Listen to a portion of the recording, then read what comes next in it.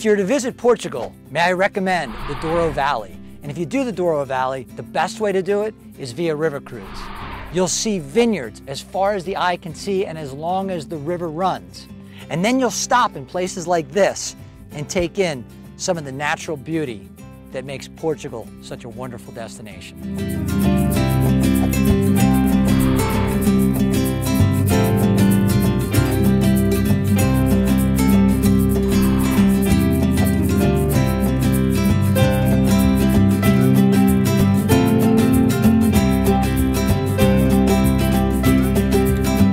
So what is this? This is the Avessada Winery tasting room. But it's more than just a tasting room.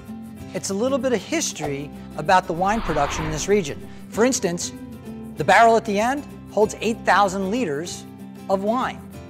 The barrel at this end holds 30,000 liters. And the ones in between, everything in between.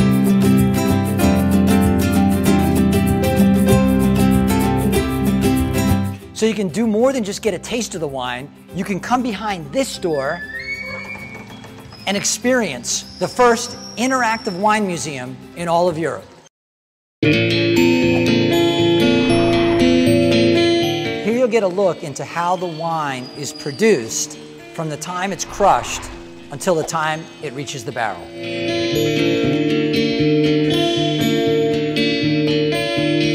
Make plans to visit this winery, you can get involved in the production process because you will be an unpaid volunteer who has the opportunity to get in here in September during harvest season and crush the grapes, be part of the actual process, and maybe even set your calendar to come back the following year to taste the fruits of your labors.